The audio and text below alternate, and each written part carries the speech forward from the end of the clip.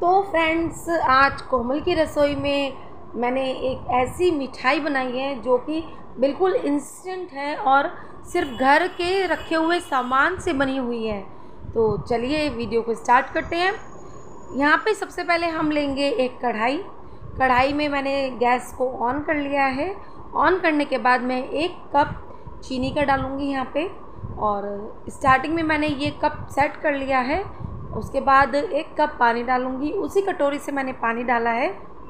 जिस कटोरी से मैंने यहाँ पे चीनी डाली थी। दोनों चीज़ों को हम अच्छी तरह से मिक्स कर लेंगे। चीनी को हम इतना मिक्स करना है कि बस चीनी पानी में घुल जाए। हमें कोई चाशनी यहाँ पे प्रिपेयर नहीं करनी है। चीनी पानी में घुल चुकी है और इसके बाद मैं यहाँ पे थोड़ा सा इलायची का पाउडर डालूँगी। क्रश करी हुई इलायची है।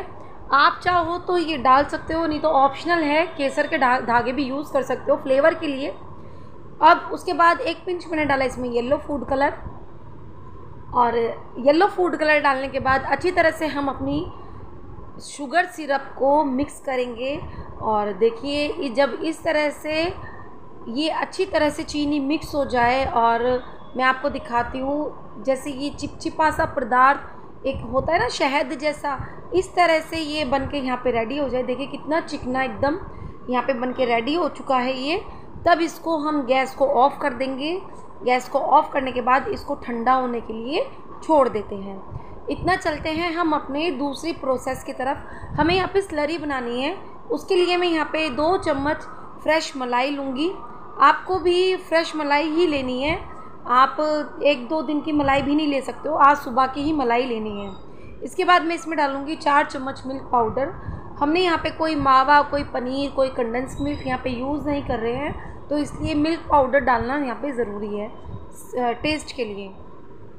इसके बाद मैं इसमें चार चम्मच फिर से डालूँगी डेसिकेटेड कोकोनट ये भी हमें चार चम्मच डालना है आप चाहो डेसिकेटेड कोकोनट की क्वांटिटी अपने हिसाब से बढ़ा भी सकते हो और कम भी कर सकते हो। लेकिन मैंने चार चम्मच मिल्क पाउडर लिया है तो मैं चार चम्मच ही डेसिकेटेड कोकोनट ले रही हूँ।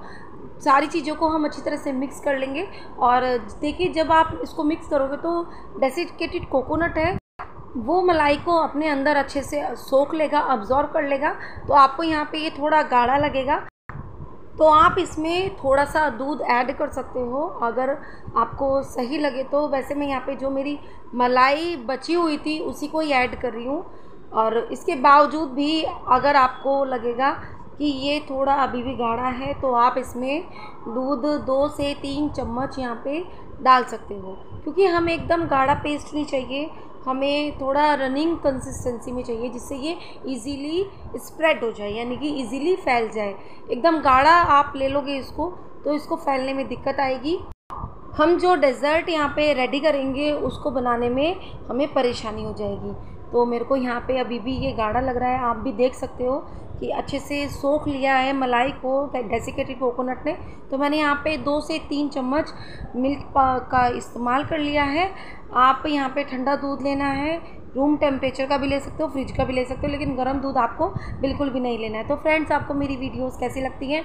आप देख तो लेते हो, लेकिन लाइक कमेंट नहीं करते हो शेयर भी नहीं करते हो। फ्रेंड्स और फैमिली में शेयर कीजिए, जिससे उनको भी ये चीज़ें दिखे और इस तरह की रेसिपी वो भी बना सकें। और चैनल पर नए आए तो चैनल को सब्सक्राइब ज़रूर करिएगा। और जब आप चैनल को सब्सक्राइब कर देते हो तो हमें नई नई वीडियोस बनाने के लिए मोटिवेशन मिलता है। और ऐसी ही वीडियोस पाने के लिए बेल आइकन को भी दबाइएगा। मैंने यहाँ पे कुछ ब्रेड के स्लाइस लिए हैं और उनको एक ग्लास की मदद से ऐसे गोल शेप में मैं कट कर लूँगी। अगर आप चाकू से करोगे तो नहीं हो पाएगा। तो आपको कोई ग्लास लेना है किनारे वाला, उससे आपको कट कर लेना है। अब इसके ऊपर जो हमने स्लरी रेडी करी थी, उसको हम यहाँ पे स्प्रेड कर देंगे ब्रेड स्लाइस के ऊपर अच्छे से। और मैंने इसमें मिल्क पाउडर यूज़ नहीं करा है, क्योंकि हम इसको अभी अपने शुगर सिरप में डीप करने वाले हैं तो इतना ज़्यादा मीठा हो जाएगा। इसलिए मैंने यहाँ पे इसको चीनी बिल्कुल भी इस्तेमाल नहीं करिए इसके अंदर। अब दूसरी स्लाइस लेंगे ब्रेड का, इसके ऊपर डाल देंगे और जो हमने शुगर सिरप रेडी करा था, उसके अंदर इसको हम जल्दी से जल्दी डीप कर लेंगे और आपको ध्यान रखना है कि इस प्रोसेस को आपको बहुत ही जल्दी से करना है स्पीडली करना है, क्योंकि अगर आप इसको स्पीडली नहीं करोगे तो आपकी ब्रेड हो सकता है इसी के अंदर टूट जाए, क्योंकि ब्रेड जो है बहुत जल्दी सॉफ्ट हो जाती है। आप दूध में डालिए, चाय में डालिए या फिर पानी में डालिए, चाशनी में डालिए, बहुत जल्दी से वो सॉफ्ट हो जाती है और इस तरह से आपको डेसिकेटेड कोकोनट में, यानी कि नारियल के बुरादे में इसको लपेट देना है। इसके बाद आप इसके ऊपर हल्का सा फ़ूड कलर का लगा दीजिए और इसको मैंने यहाँ पे डेकोरेट कर दिया है, जिससे कि देखने में सुंदर लगे थोड़ी सी ड्राई फ्रूट से। अगर आप चाहो तो ऑप्शन है ड्राई फ्रूट्स और आपको मन नहीं है ड्राई फ्रूट्स लगाने का तो आप मत लगाइए, कोई बात नहीं। आप इसको ऐसे भी रख सकते हो, ऐसे भी खा सकते हो। और इतनी डिलीशियस और इतनी टेस्टी बनी है कि ना मेरे मुँह में पानी आ गया बोलते बोलते। और मैं यकीन के साथ कह सकती हूँ कि आपके मुँह में भी पानी आ गया होगा इसको देखते देखते। इसके बाद आप इसको जैसे चाहो वैसे डेकोरेट कर सकते हो। और आपको इसको जल्दी से जल्दी बस ऐसे रेडी करके इसी तरह से अपने सारे पीसेस रेडी कर लेने हैं। और उसके बाद इसको फ्रिज में रख दोगे और नारियल के बुरादे में लपेट दोगे तो फिर ये जो एक्स्ट्रा चाशनी होगी वो नारियल का बुरादा सोख लेगा तो इतनी जल्दी ये सॉफ्ट नहीं हो पाएगी। और देखिए देखिए मेरी टूट भी गया था एक स्लाइस ना क्योंकि मैंने आपको बताया कि इस चाशनी में ही टूट जाता कई बार। और खाने में इतनी सॉफ्ट मैं खा के दिखाती हूँ आपको। वाओ हम्म, बहुत ही यम्मी बनी है, एकदम डिलीशियस बनी है, बिल्कुल मार्केट जैसी बनी है, एकदम हलवाई स्टाइल बनी है। तो आप भी इसको बनाइए, खाइए, खिलाइए और इन्जॉय कीजिए और अपने एक्सपीरियंस मेरे साथ ज़रूर शेयर कीजिएगा कि आपको मेरी रेसिपीज़ कैसी लगती हैं, अच्छी लगती है या बुरी लगती है। कमेंट करके मुझे बताइएगा ज़रूर। एक तो आप लोग कमेंट ही नहीं करते हो। कमेंट करने से क्या होता है कि जो कन्वर्सेशन है, वो आपस में बना रहता है। उसे लगता है कि हाँ मेरी वीडियोज़ आप लोग देख रहे हो और आप लोगों को पसंद आ रही है। तो इसलिए कमेंट ज़रूर कीजिएगा। वीडियो को लाइक, शेयर करना ना भूले, चैनल को सब्सक्राइब करना ना भूले, साथ ही साथ बेल आइकन को भी दबाना ना भूले, जिससे आपको मेरे आने वाली हर नई वीडियो की नोटिफिकेशन मिलती रहे। Bye tata see you soon for next video